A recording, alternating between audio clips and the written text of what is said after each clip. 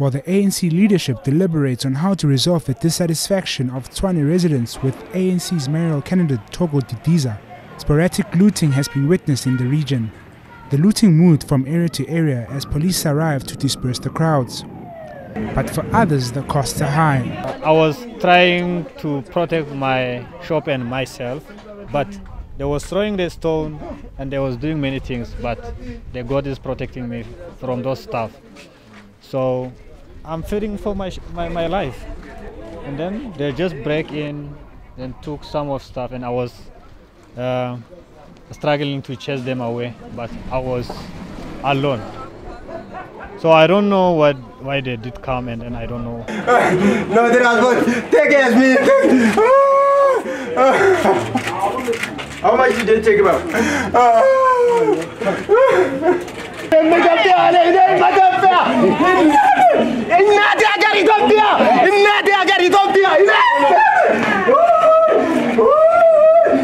Police said they would continue to maintain a strong presence in the area overnight.